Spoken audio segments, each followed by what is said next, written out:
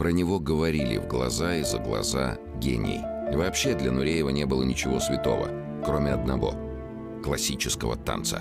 И именно этот человек 16 июня 1961 года совершил гениальный кульбит, но тот прыжок свободы в парижском аэропорту Ле Бурже и был волей судьбы – с того дня Рудольф Нуреев постепенно обретал то, что в принципе мог и не обрести, и одновременно терял то, что в принципе мог бы не потерять. То и другое длилось всю его оставшуюся жизнь до самого последнего дня. У него всегда была ностальгия по России. Когда его мать умерла, он позвонил одной русской подруге, жившей на Пятой авеню.